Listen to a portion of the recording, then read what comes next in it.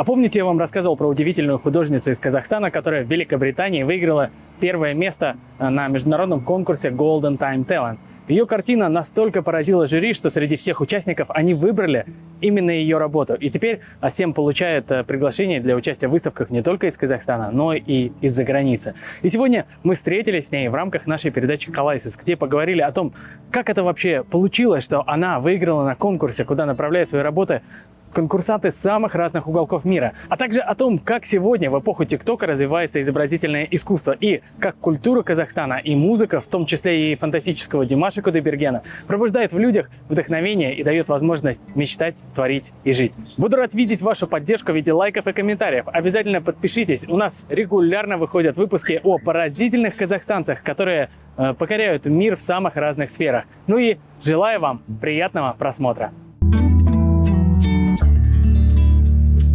әсем қалайсыз керемет тамаша өзіңіз қалайсыз ә, шүкір рахмет э, я с вами э, очень рад что сегодня мне удалось встретиться вот и поговорить потому что э, я когда про вас узнал про вашу картину, которая выиграла в Англии.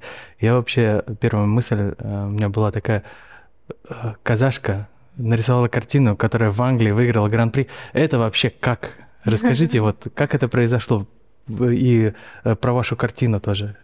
Ну, на самом деле, я сама была в шоке, я до конца не верила, что такое произошло, потому что э, я когда отправила эту картину на конкурс, и сама не ожидала, что я какое-то место займу, я просто как бы для себя, для пробы, для опыта, можно сказать, просто попробовать, э, как это в международных конкурсах участвовать. Я участвовала, но это было в школе, в, школьной, э, в художественной школе, а, там, конечно, у тебя есть куратор, у тебя есть учителя, который помогает этим заниматься.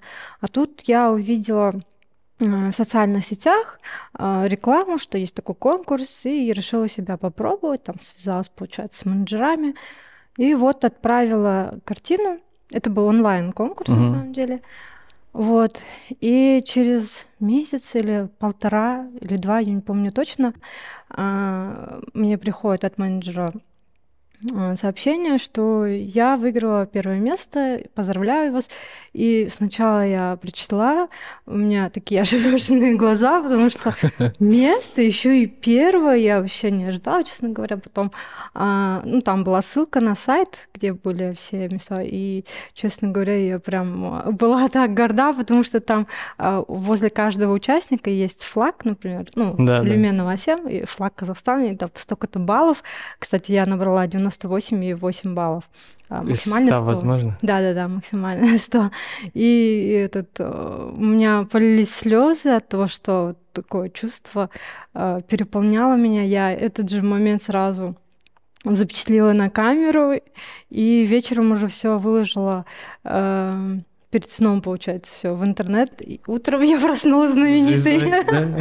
Да. О, это круто, интересно. Вообще, э, это вот картина, которая сейчас у нас по центру э, расположена, да? да? А можете рассказать, как она называется? И э, вот мы с вами уже встречались, у вас была выставка в Алматы театре, вы сказали, что это ваш муж и его мама. Да, эта картина называется «Она Мембала», здесь изображены моя Енешка и мой будущий супруг в трехлетнем возрасте.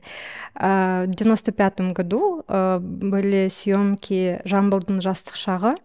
Это юность Жамбыла, угу. фильм про юность Жамбыла, э, где моя Енешка играла его жеңге. Жеңгешка. И на эту съемку э, мама решила с собой взять трехлетнего сына, там его переодели тоже в этом же.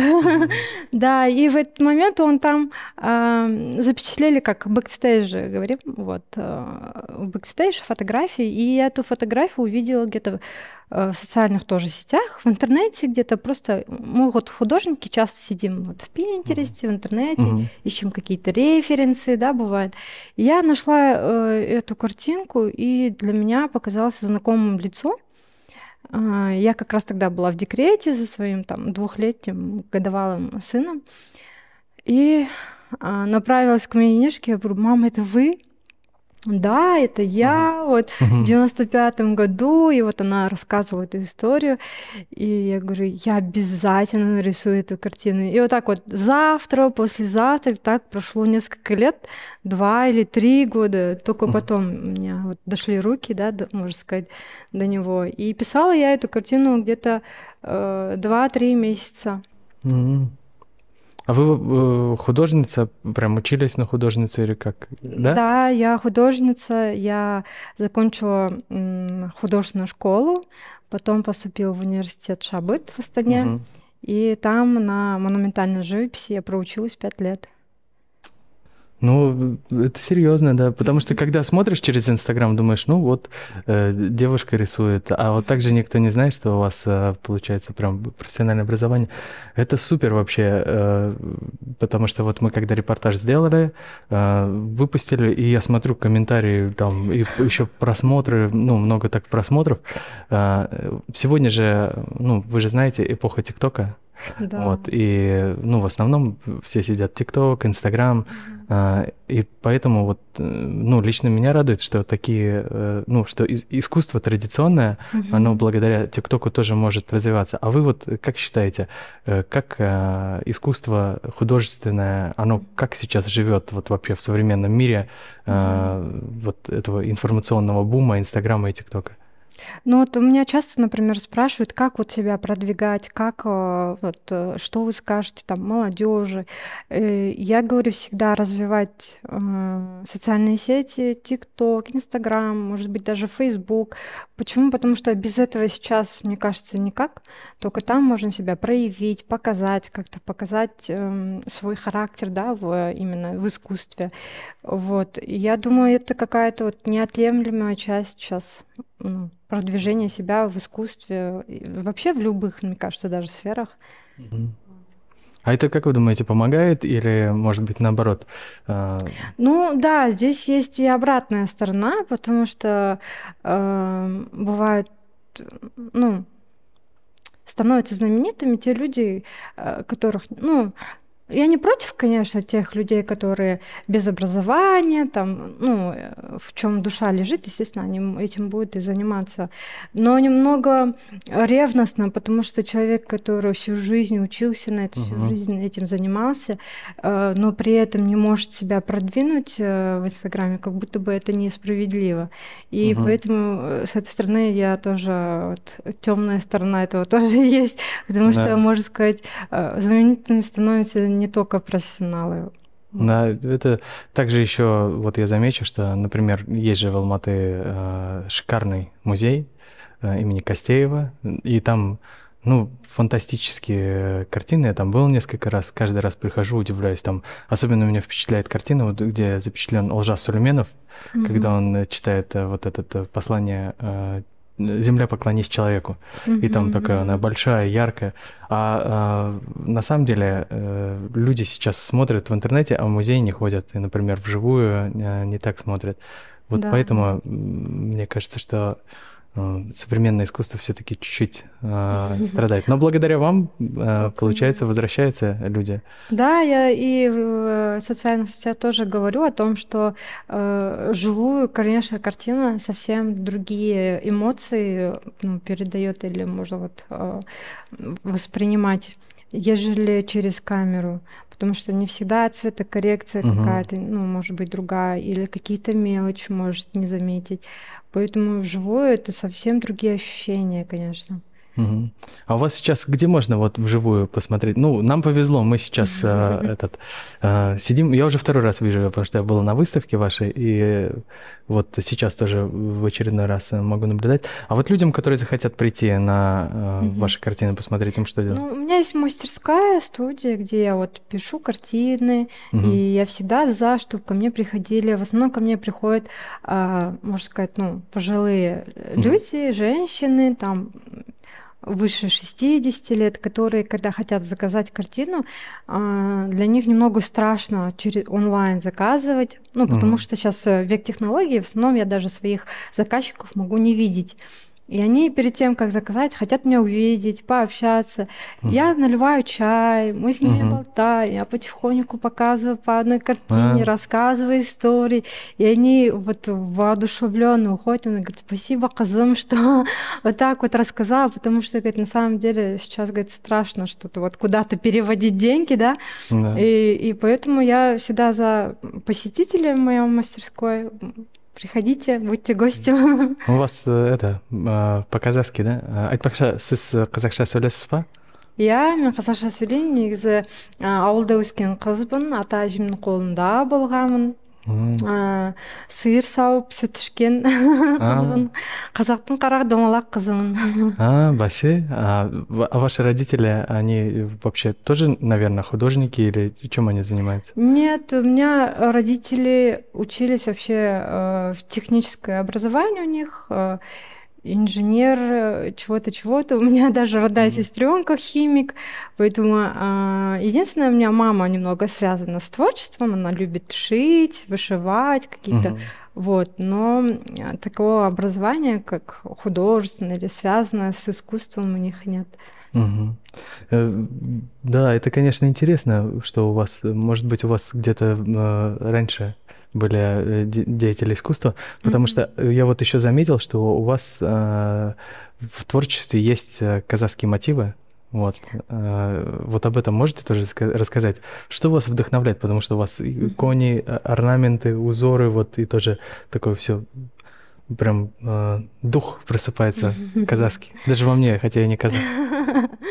Ну, на самом деле, эм, можно сказать, первыми, кто вот во мне вот это вот воодушевил, это были сами заказчики, которые э, захотели, вот я хочу картину, чтобы он был, ну, я же с интерьером больше связана бывает, и они хотели картину с каким-то национальным узором или еще вот именно чтобы какой-то мотив был mm-hmm. казахский и вот этот вот дух они во мне как говорится спрос mm-hmm. да рождает предложение и после этого я вот э, свои творческие работы тоже начала в этом стиле э, писать и дальше больше именно уже лица какие-то украшения mm-hmm. э, одежда какой-то быт это все уже так вот просыпалась, и я это изобразила в своих картинах. В общем, казахские э, тренды, они есть э, и в том числе и в изобразительном искусстве. Да, mm. это, конечно, очень интересно. Кто вот из э, артистов, э, кого вот чаще всего слушаете? Ну, честно говоря, нет такого какого-то вот определенного, но мне э, Нравится, например, Димаш. Я очень угу. вдохновляюсь его угу. историей, очень а, поражаюсь его воспитанием, а, как он относится к людям, а, ко всем, причем как-то ровно. То есть не знаменитость, не стаж, вот как-то он всех уважает. Меня это иногда вот я смотрю его там видео, нарезки, uh-huh. некоторые вот видео прям аж до слез бывает, что вот в душе просыпается какой-то, и хочется быть таким человеком простым, при этом очень душевным, воспитанным. Вот uh-huh. в нем вот есть как раз-таки вот это казахское воспитание. Я тоже, кстати, большой поклонник творчества Димаша. Да, я с 17 года э, слежу за ним, поэтому то, что вы говорите, очень правильно. Даже я знаю, что очень много э, художников, вот, то, что вы сказали про Димаша, это mm-hmm. очень, ну, верно подметили, очень много художников вдохновляются э, творчеством Димаша, и не только художников, да. и музыканты, и скульпторы есть, и вот, и э, один из художников, Нурлан Ахметов, э, mm-hmm. он э, вообще боксер сам, но переехав в Турцию, в Аланию начал заниматься искусством. И тоже wow. он берет э, коралл из моря в Алании uh-huh. и на нем рисует э, чернилами. У него есть картины там вот тоже Димаша. Э, и вот это же нужно каждый день находить вдохновение, находить мотивацию. Как вы вот с этим справляетесь? Ну, на самом деле, мне для мотивации многого не надо. Почему? Потому что я в один период решила, что мне нужно рисовать вот в определенное время. И я вот с 9 до 6, как офисники, я прихожу на работу в 9 утра, начинаю работу, у меня обед, как положено, с часа до двух, и дальше я продолжаю работать. Потому что ну, я так поняла, вот как я чувствую, для меня нужна дисциплина и м, систематика какая-то. Тогда у меня, я вижу результат в этом. А, было время, когда я писала дома, а в декрете я вообще только ночью писала, потому что уложу ребенка спать, и у меня начинается на кухне вот этот свет, пишу, пока поставлю там а, какой-то сериал на фоне, и вот иногда могла до 5 утра. То есть это все равно надо, ну, как бы профессионально подходить, как и к любому делу, чтобы Э, был результат. А сын у вас, э, получается, тоже э, есть у него страсть к искусству, если он свою руку приложил к одной из, к одной из работ? Он, он, знаете, он больше по скульптуре, наверное, он очень любит делать всякие фигурки из Пластилина? С пластилина, да. У нас весь дом просто уже обставлен этими фигурками. Мы не знаем, куда же их ставить. Не дай бог, ты там наступишь или выкинешь, он сразу это поймет, увидит, и там же скандал. А, иногда люди забывают про свою мечту, что они мечтали, например, стать художником или мечтали, например, писать музыку. Какой э, совет, какую мотивацию можете дать вот э, людям, в которых есть вот этот огонек творчества? А, ну, я вообще считаю, что творчество э, может не мешать вашей работе, можно заниматься им параллельно. И э, вот, например, я люблю петь. Я обязательно, ну, иногда бывает, прихожу домой, включаю караоке, люблю попеть.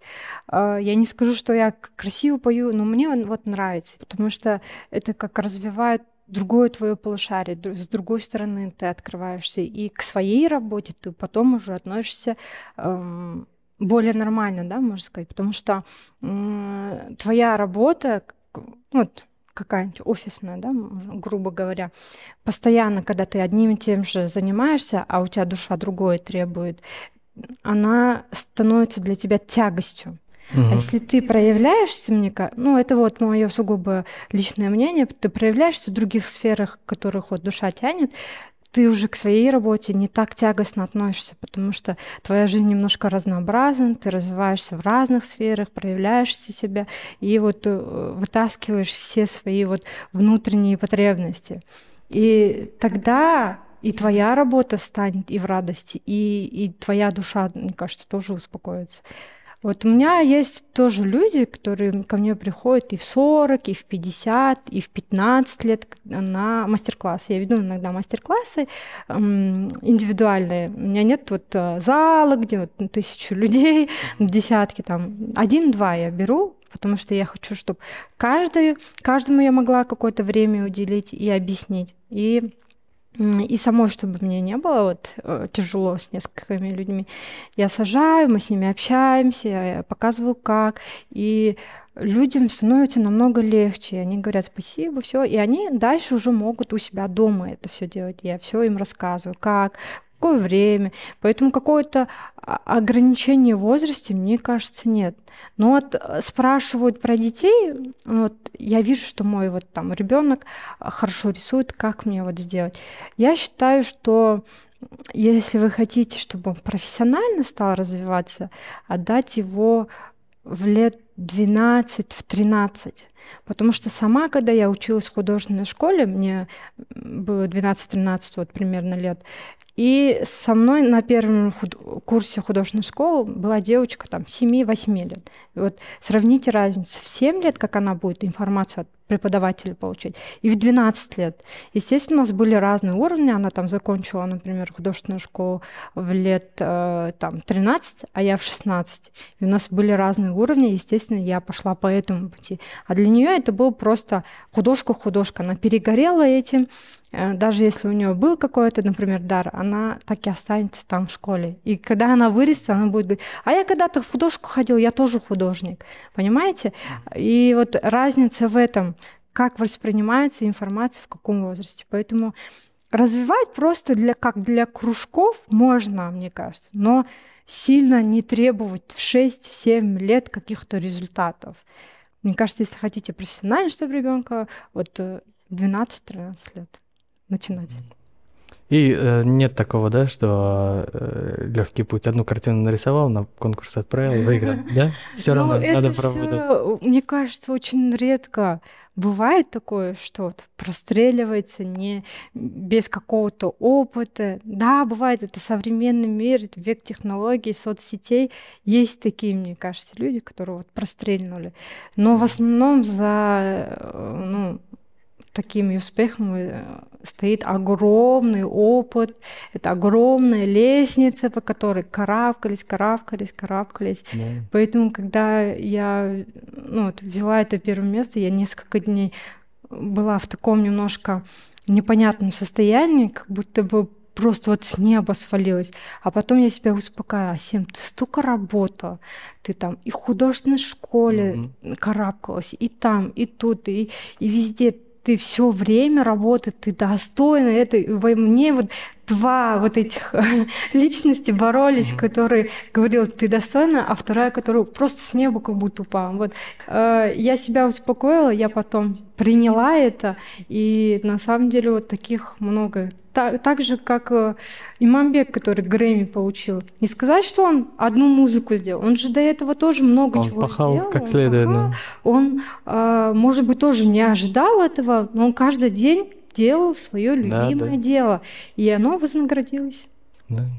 Как еще можно, еще один пример, квадрат Малевича. Это Да, же не просто квадрат. конечно. Я его видел, но я был э, маленький еще тогда. А, Я его видел и подумал, что квадрат, что. А на самом деле это За ним стоит да, огромный труд. Нам даже в, э, в универе преподаватели говорили, если вы хотите писать абстракции, вы должны полностью изучить академическую часть. То есть вы должны и портреты, и эм, натюрморты, все-все-все изучить, а потом уже переходить к абстракции. Только потом вы будете понимать, какую абстракцию вам нужно писать. Потому что без академии абстракция это будет просто каляка-маляка, грубо говоря. Каляка-маляк.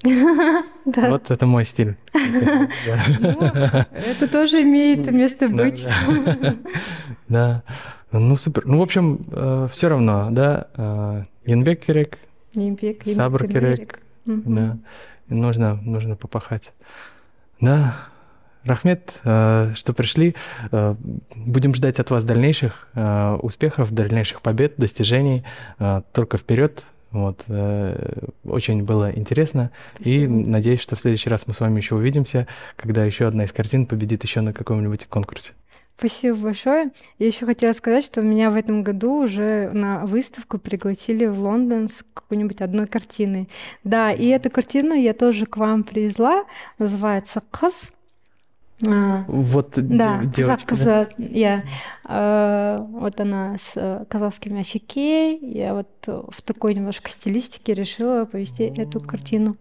На самом деле я хотела Саукеле повести, она немножко по размеру мне подходила. Хотела бы рассказать про нашу традиционную одежду, вот, про Саукеле, невесту, вот. И вот пришлось Ну, это тоже хорошая картина, такой э, взгляд у нее.